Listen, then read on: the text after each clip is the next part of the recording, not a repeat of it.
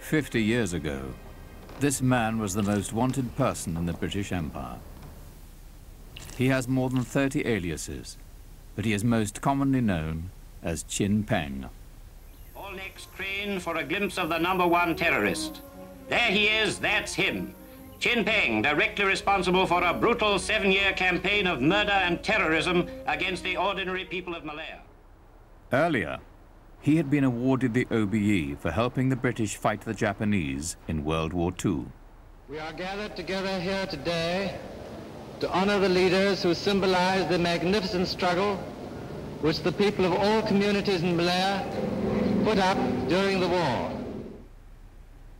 This film is the story of how one of Britain's most dependable wartime allies became one of her gravest post-war enemies. For 12 years, the British battled to crush Chin Peng's communists. They put in place a level of population control rarely seen before or since.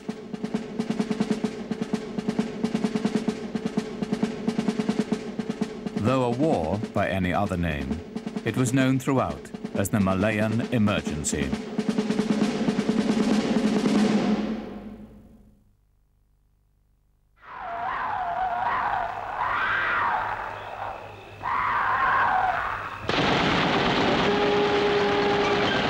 A fictional Chin Peng has appeared in several films and novels. The man behind these new outbreaks is Ah Seong, late of the Chinese 136 group, trained by us to fight the Japs. and believe it or not, he marched beside us in the victory parade. I'm Ah Siam. His fictional counterpart usually comes to a sticky end.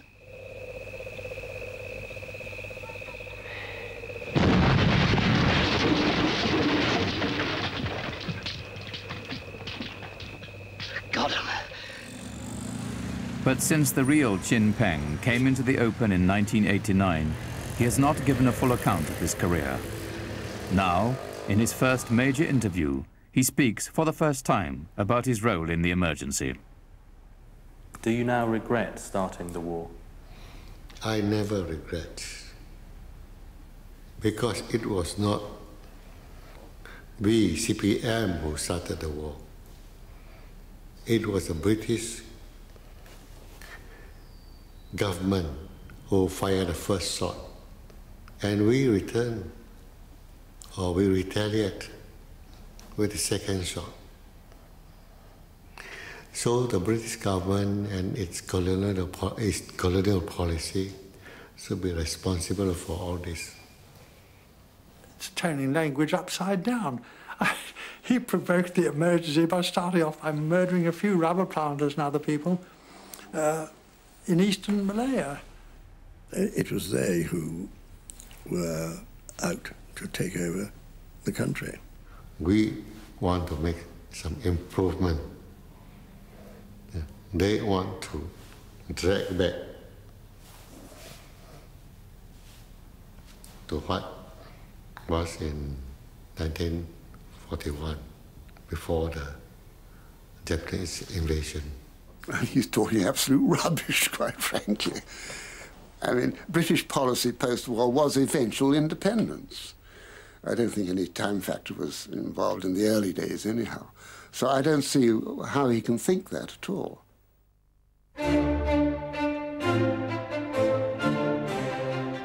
Before the war, Malaya was one of Britain's richest colonies. In 120 years, the British had developed two enormous industries rubber and tin. Both relied heavily on imported labor from China and India.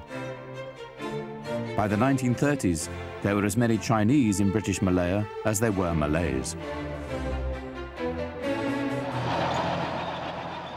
But British rule was to end suddenly. In 54 days, the Japanese overran the country. In 54 days, they undid the work of more than a century.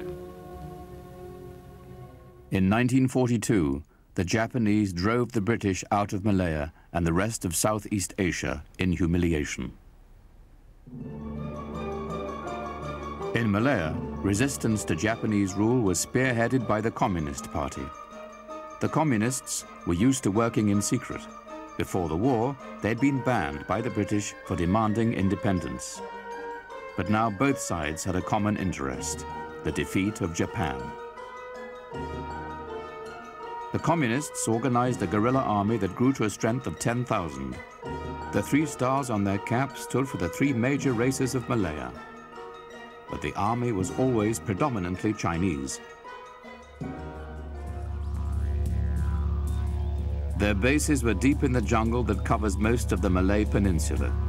And it was here that the British sent a team of officers to make contact with them. In December 1943, the two sides met to negotiate an alliance.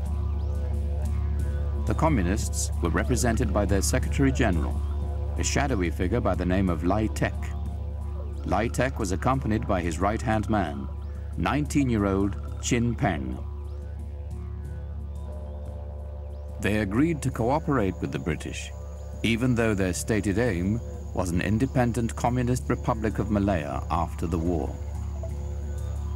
But despite this agreement, Lai Tek set up another army. This army was to be kept secret from the British. In order to convince our people, we still have an army under our command. So he devised this secret army. And we readily accepted it seemed a good, clever policy. The plan was that after the defeat of Japan, the secret army would try to take control of as much of Malaya as the British would allow. We didn't ask the question, but at our heart, I think we have, uh, eventually we will have to fight British forces. They will not let us occupy the town. The British dropped thousands of weapons and ammunition supplies to the guerrillas. The best of these were diverted straight to the secret army, and they were never used to fight the Japanese.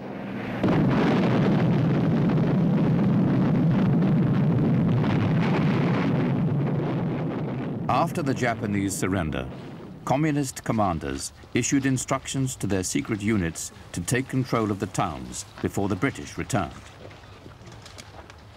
But within days, Lai Tek changed the plan. He ordered the secret army to be dissolved and their weapons buried in the jungle. The open army now cooperated fully with the victorious British. Chin Peng was among those decorated. Two months later, Lai Tek agreed to disband the rest of the anti-Japanese army, much to the dismay of the troops. 我们就是你觉得呢？抗日战争，我们从无到有，从小到大，现在一下就把武装收起来，大家都觉得不同。因为我们不是中央，那我们的下面，我们有我们的感觉，有我们讲究，但是我们不一定是很全面，所以我们这个虽然这个思想上有抵触，但是呢，我们也是服从。So why did Lai Tek abandon the plan to seize power in 1945? He told party members he did not believe the time was right. But the real reason may have had more to do with Lai Tek's secret past. Someone from Special Branch brought Lai Tek to Singapore. And from that point onwards, he had accelerated promotion within the party because Special Branch would conveniently knock off the next people above him, so that in a very short time he became Secretary General of the Malayan Communist Party. When the Japanese invaded, Lai Tek switched sides and became their agent. But what he did after the British returned is less clear, since the official files are still kept secret. One of the few historians to have had privileged access is Anthony Short.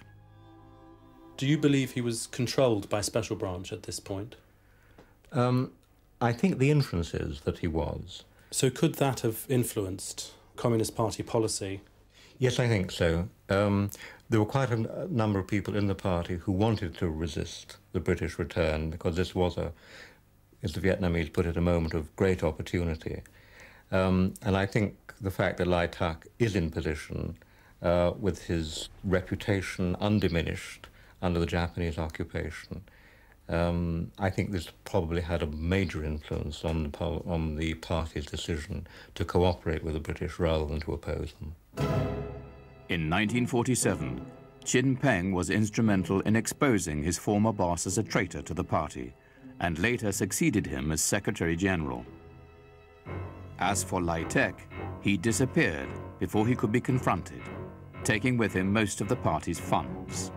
He was never seen again, but the rumor is that he was tracked down and eliminated in Bangkok. Did you have him killed? Yes, he was liquidated in Bangkok by some people and not me, not our party by some other peoples. But on your orders? Pardon? But on your orders? No. We came to know only after that. We will never know whether the rising that Lai Tek stopped in 1945 would have brought the communists success, but there is no doubt the next three years would see their advantage slip away from them.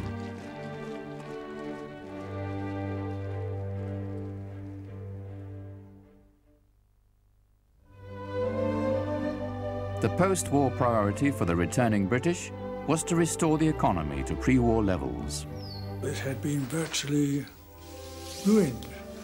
I mean, the, the basic prosperity of the Malay Peninsula was based on rubber and tin. During the Japanese occupation, those industries more or less came to a halt.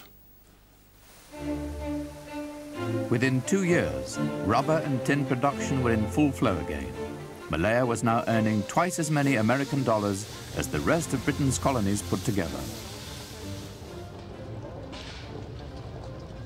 The Malayan communists were by far the biggest political force in the country. But having disbanded their army, they were now campaigning legally for self-government. We thought we can force the British to make some concession especially when British Labour government is in power. We thought of that.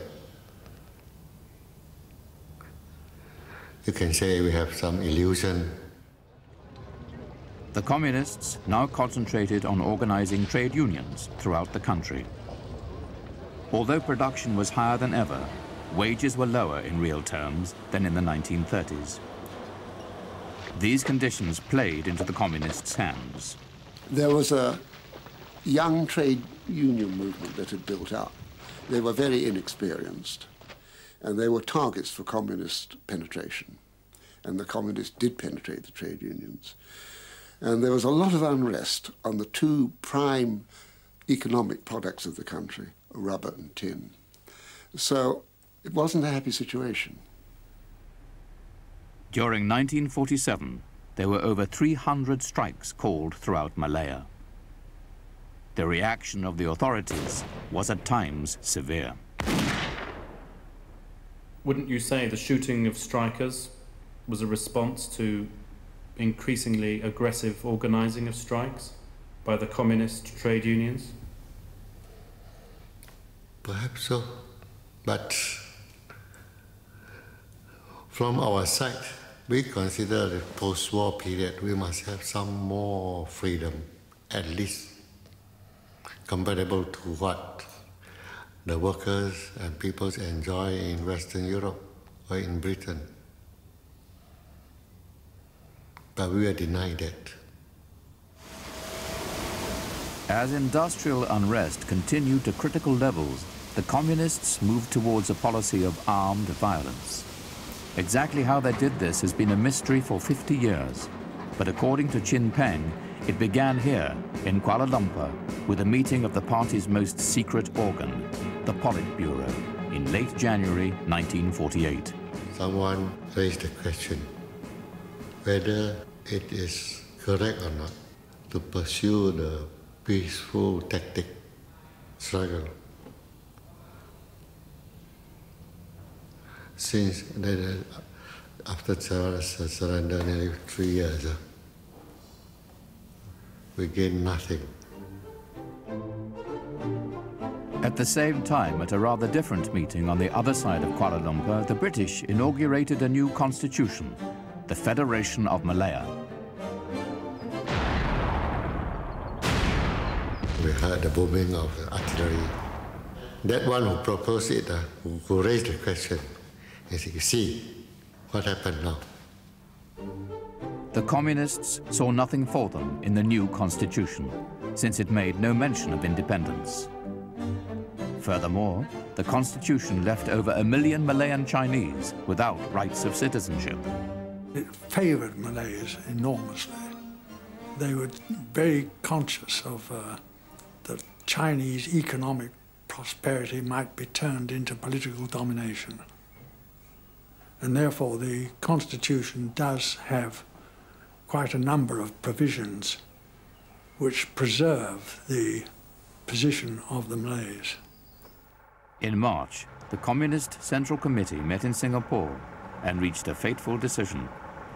According to Chin Peng, the committee believed the British were planning to ban all communist trade unions. We consider that a very serious step. Step by step, we will be driven out of the trade union and out of the political arena. Perhaps one day we'll be banned. So that means we have to launch, to, to make some preparation uh, to launch armed struggle if that happens. Some weeks later, the bill banning their trade unions was drafted by government officials. You must appreciate that this is very much an international issue. The Soviet Union were turning the heat on in the Far East. Communist parties in Burma, Malaya, Mao Zedong was advancing in China, taking over China, the Philippines, Indonesia. All the communist parties there were causing unrest and trouble. So, I mean, Malaya wasn't any different from that. But it wasn't just a local, uh, local war, but it was fairly Soviet policy, basically. Did you receive any instructions from outside Malaya to launch this revolt? No. Did you receive any instructions from the Chinese Communist Party to revolt? No. What I say is that we didn't receive any order from either Moscow or Peking. 如果我们我们不提出独立的主张，我们会脱离群众，所以我们不能不提出独立。这样我们也就要准备应付英国政府的武装镇压。But before they could start a guerrilla war, they first ordered their trade unions to adopt extreme measures. From April 1948, it was policy to kill those who opposed their strikes. Why was it okay to kill people in strikes? Because there were some, usually there are some strike breakers. Try to sabotage the strike. So, how to deal with that? Yeah. So, so that uh, if necessary, we can beat them. Probably we dare not beat them, you see. Or kill them as a warning to other strike breakers. Actually, uh, majority of workers were, were happy about that. They didn't say no. If workers said no, we dare not do that. They may have been too frightened to say no. I don't think so. By June, some sections of the British community wanted the government to go on the offensive. We in the police were trying to get the MCP, the Malayan Communist Party, banned. We knew who they were. We knew a lot about them as a result, of course, of the war years. But the government wouldn't take any action. By now, communists were slipping away secretly into the jungle.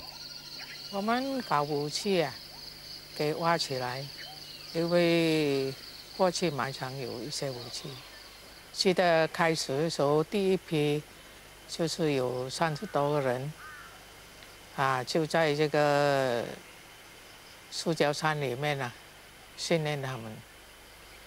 他们这个很热情。But the communist leadership believed they had some months yet to prepare for the coming conflict. We think British will launch a full-scale attack the earliest in September. Perhaps the earliest, perhaps a bit late, perhaps much later. So before September, we have to get our new nuclear force ready in every state. The timetable changed abruptly when armed communist guerrillas shot dead three British planters here at Sungai Siput. My own reaction to it was then, this is something very serious. These armed terrorists had been marching down towards Sungai Siput in the first estate they come to. Spence, the manager, was not at home. We carried on, and again, the manager was fortunate in not being around at the time. So the first estate, they found the manager, Wally Walker, sitting in his office, and they shot him from his office chair. We consider the European planters as a symbol of colonial rule. In general, they were hated by the workers. So, if they if they want, they can kill it according to our policy, not against our policy. However, the local communist commander at Sungai Siput claims the killing was not authorized. He says the planters had used police to disperse a recent strike. Some workers had been beaten and they called in a local communist killer squad to get revenge. 但是有什么办法？啊，下层怎么做啊？不过这不是党的政策，我跟你讲，嗯，我领导的不是党，孝顺下面同志，不可以这样子，啊，今后你们不能这样。Two days later, the government declared a nationwide state of emergency. Here was the all-out assault Chin Peng feared most, and three months earlier than he had expected. But shouldn't he have controlled his forces more tightly? If our policy laid down certain things that you cannot do, you cannot do, and that's forbidden. That would not be happen. Why didn't you lay that down? You can say we are inexperienced. Do you regret killing British planters now? I can say is that I'm sorry for those who were innocent. They have done nothing wrong. They have not suppressed the people or the workers.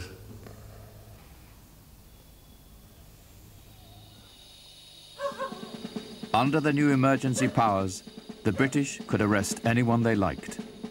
They started immediately with dawn and dusk raids on the homes of political activists.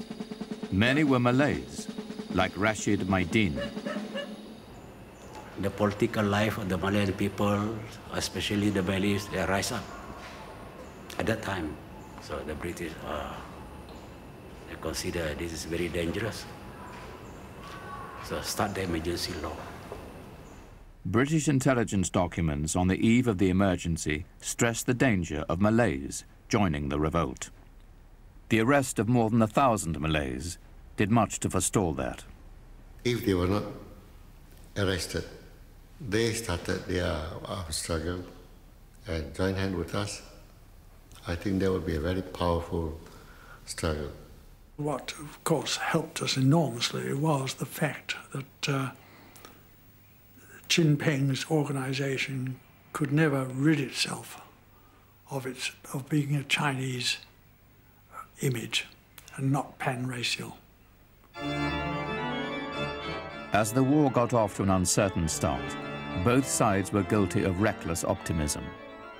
One British general claimed the job of beating the bandits, as they were termed in the early days, was the easiest task I've ever tackled.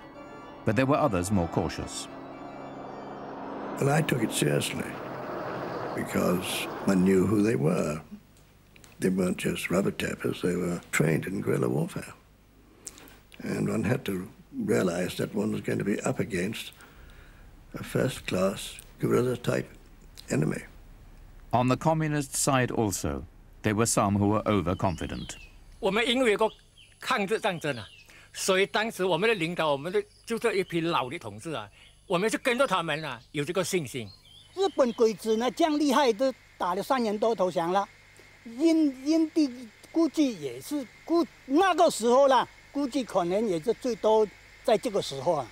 我和家人讲啊，家人哭哭啼啼，叫我不要上啊。我讲不要紧，三两年就回来了。In withdrawing to the countryside, the communists were looking to rely on the support of around half a million people who were eking out an existence on the fringes of the jungle. They were known as the squatters. These people were mostly Chinese, but not all, uh, who had fled from the urban areas during the Japanese occupation. And uh, there was no control in those areas by any civil authority, including the police.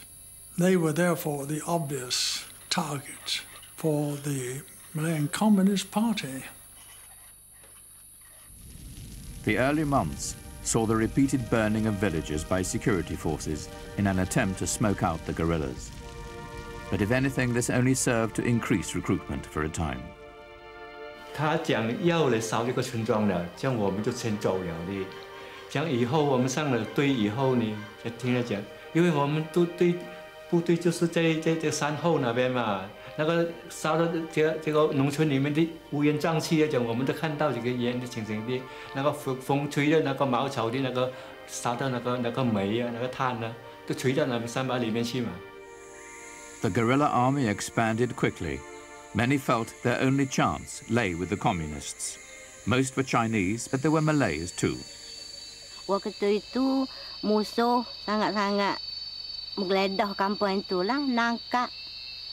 Banyak nangkap orang kita takut kena tangkap. Berasa sedih juga anak sedang ngopek. Anak kecil sekali tu umur 9 bulan tinggal.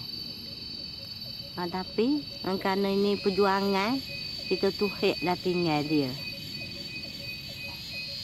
Menangis tak menangis. Reinforcements arrive at Singapore from Hong Kong as Britain promises full aid in the war against the bandits, because that's what it is now, war. For many recruits, this was a new experience. You weren't allowed to wash your hands. You weren't allowed to Brylcreem your hair. You weren't allowed to brush your teeth. You weren't allowed to smoke. You weren't allowed to eat sweets, anything like that.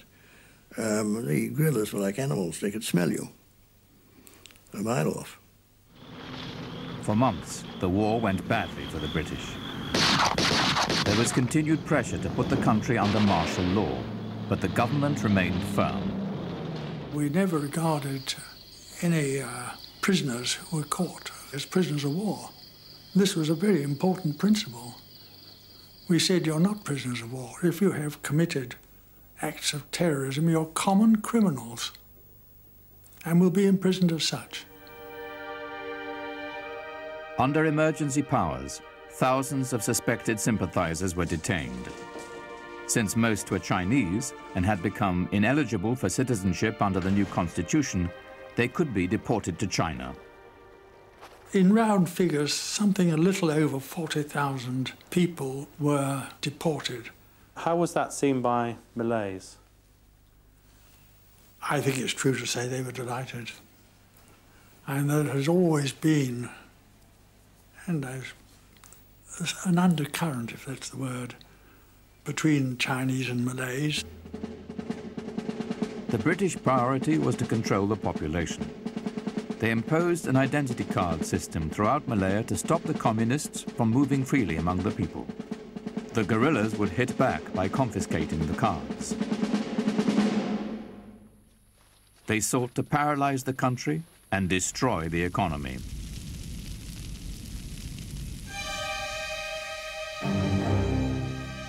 From the start, the war was a battle for information, and the guerrillas dealt with villagers who betrayed them without mercy. 一般上原则上是啊，不是一般他一个厉害的呀，都先警告他，不要对对付这个我们，不要杀害群众，不要反革命， 我们就不要残害他的。结果一些呢，他不听劝告啊，他一直照旧作恶，就对付我们，一直杀害群众。这样我们不得不呢，都不听警告，就要进行消灭它。But there were stories too of atrocities, especially of members who betrayed the communists. They tied him up. They gouged out his eyes. They pulled out his teeth. Then they slit his tum tummy from top to bottom. And that was the sort of treatment that a traitor could expect. I never received a report that those was killed by us, their body was mutilated. It was not our policy to harm the dead people, to what, to mutilate them or to chop off their hands or heads. It was not our policy. If I can deny one or two cases happen, I say, maybe because government did those things to us. Maybe in someone place that they can't control their anger, they take revenge. I can't say that that, that would not happen. That Maybe. Certainly the tactics used by both sides were brutal. When on patrol in deep jungle, security forces in the early years were permitted to cut off heads and hands of captured guerrillas for identification purposes. When this photograph of a Royal Marine commando appeared in the press, the government panicked. Official documents reveal the real reason for their concern. Such behavior is, under international law, a war crime.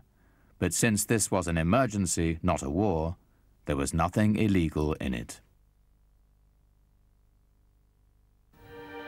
In 1950, after nearly two years of fighting, the situation was approaching stalemate. Both sides had lost around two and a half thousand people. Then the British came up with a plan that in the end would win them the war. In one sense, it was an obvious solution to all these people outside the control of the civil authorities and the police. Uh, the only thing to do was to bring them into protected areas where they could be policed. And uh, most of them were brought into what were called new villages. 嗯，有一天就突然就 有那个两车兵来到我们那，就下来就把我们家的东西吧，就全给扔到外头去了。完了就呃拿火就烧我们的屋子。They were dawn raids, which were, of course must have been dreadful shocks.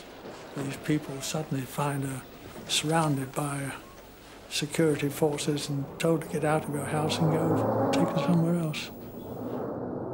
None of these measures was uh, pleasant, but we were out to win a, a very important guerrilla war.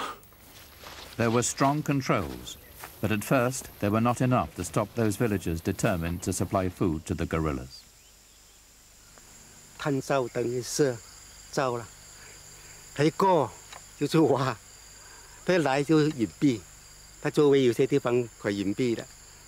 他一，照过去，地边过我们就去挖，所以挖个挖个地洞有一段时间的了，挖等刚刚能够容纳一个人，不不不能够进去。开始是一层，后来围到三层，那最后因为群众的决心很强啊，要支持这个游击队啊，就就加到五层，五层最后那一层还没有办法，群众还是这样帮助这个共产党，结果就加深电咯，当粮食 把肥当肥料这样挑出来咯，就想办法放在底下，上面就放一些猪大便啊、尿啊、诸如此类的东西，就当肥料挑出来了。Resettlement was well underway by 1951. Over a million people would eventually move. The amenities provided were way beyond most villagers' dreams. Luckily for the government, another conflict, the Korean War, was creating a massive demand for Malaya's rubber and tin. The huge costs of resettling so many people were now more than offset by the growth in Malaya's economy. After three years of fighting, Chin Peng took a decision which would profoundly alter the course of the war. The communists decided their harsh tactics were losing them popular support. The new village policy was isolating them further. So to get the people on their side, they would now concentrate on their underground organization, inside the villages. British intelligence shifted accordingly. You had the terrorists in the jungle. Uh, we didn't try and get at them because their security was very, very good. I mean, you couldn't get agents into their camps and things like that. It was impossible to handle that. Therefore, their outside organizations were absolutely vital to us and to the terrorists. 我们通常呢，就比较秘密的啦，哈，不是公开这样做的，也不能够公开，公开一下就暴露必抓。像我们通常朋友已经是交一段时间了，就相信你了。They supplied the food, the medicine, the money, or the general requirements of the terrorists in the jungle. So they were our number one targets. 但是也有一些是误了啊，好像不好的人这样的啦，也听到这样的，这样就好像谁领导你的，你就得走了路哦。啊，所以我就经常都走出走进了，家都不大敢回了，有家都归不得了，就这样了，最后搞到家破人亡了。Gradually, the British forced the guerrillas more and more onto the defensive. And by 1954, the new village policy was making it very difficult indeed for gorillas to get food. 一天一个人是半个米，一天。所以按照现在我们啊，半个米大概是这样多了，大概是一扎多一点点。按照现在我们的各种杂物来多有多啊，我们好像我们伦敦杂物很多，问题不大，半个米是够吃的。因为在单位我们在三八没有杂物吃，一天就是半个米住。在三八就在那个时候啊，地人后来的飞机活动比较疯狂，比较紧张的时候啊，我们怕华人给人家看到，所以我们呢做到早晚。By 1954, the communists decided they could not win the war militarily. To make things worse for them, they were now losing ground on the political front too. The largest Malay nationalist party, UMNO, had moved to a policy of demanding independence. Led by a Malay prince called Tunku Abdul Rahman, UMNO was Britain's preferred party of government. The British realized that while this struggle goes on, nobody is having the better of the say, the better of the fight. Uh, but in the end, perhaps they might have to give independence, so they might they might as well choose the right party on whom they can trust uh, to accept independence and run the country uh, well. And that's why I think in the end the British supported us. Through an anonymous letter, Chin Peng offered peace talks and the Tunku readily agreed, much to the consternation of the British. Well, I think the chief concern was that um, our ministers, uh, Malayan ministers, were relatively inexperienced still. Uh, we felt perhaps they didn't really understand completely the communist objectives. And uh, the communists are clever people, and we didn't quite know how they would handle a bloke like Chin Peng. I was sitting in Kuala Lumpur, uh, rather afraid of what might happen. The eyes of the world turned for a fateful two days on Baling near the Thai frontier for talks between government representatives and communist terrorist leaders. All necks craned for a glimpse of the number one terrorist. There he is, that's him. Chin Peng, directly responsible for a brutal seven-year campaign of murder and terrorism against the ordinary people of Malaya. Behind the scenes, the British were concerned to ensure that talks were restricted to surrender terms only. My bottom line is that we would not accept any term that imply surrender or, or capitulation. For two days, the opposing sides talked but made no progress. I was glad I met him because as a result of my meeting with him, he made it quite clear that he's a communist, I'm anti-communist, that the two of us can never work together. On that score, we ended our talk. At the last stage uh, of the talk, uh, Tunku said, you, you, you must realize you have to accept certain form of surrender. Then I told him, if so, we would prefer to fight to, to the end. Talks ended without resolution, and Chin Peng was led back to the jungle to continue the war. So then I was disappointed. If during this talk we can achieve peace, it will mean all sides will suffer less. Less killing, less, less dying, and less hardship for the people. Over the next three years, the guerrillas were hit very hard by increasingly efficient security forces. Nearly half their number surrendered, but a dedicated hardcore remained. 从来没有想说放弃的。哦，没有了。为什么呢？因为我们来都是自愿啊。我上次讲过啊，我们都自愿啊。因为我们现在做了半年车，只是说不敢出去啊。首先对待自己的父母都对不住啊。Independence came in 1957, but still the communists fought on and on and on against the Malaysian and later even the Thai security forces. Until in 1989, Chin Peng got what the British had denied him 34 years earlier, peace with honor. The communists, only around 1200 by this time, laid down their arms and agreed to live in villages guarded by the Thai army in the border area they had made their stronghold for so many years. For many, the last few years have been their first ever taste of normality. But do they now think their decades-long jungle war achieved anything? 假使没有马来亚共产党领导的马来亚人民，这个抗抗议这个民主解放军坚持奋勇的战斗了九年，马来亚能够不能够得到独立，这个是不可想象的，不可能的。 That is not a view shared by many in Malaysia or Britain. Nowadays, the jungle warfare of the emergency could not seem further away from the modern high-tech world of Kuala Lumpur. As for Chin Peng, he now leads a life of exile in Thailand, reflecting on the history that might have been. It stemmed the tide of communism.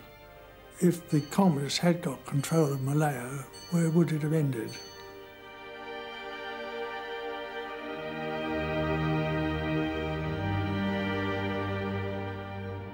Mistake is that although we live in Malaya, we didn't understand the real situation in Malaya.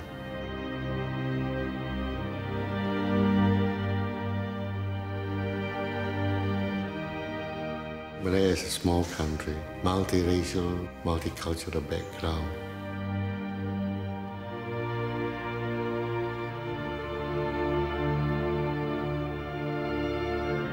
So how to unite the people? This is a very complicated problem.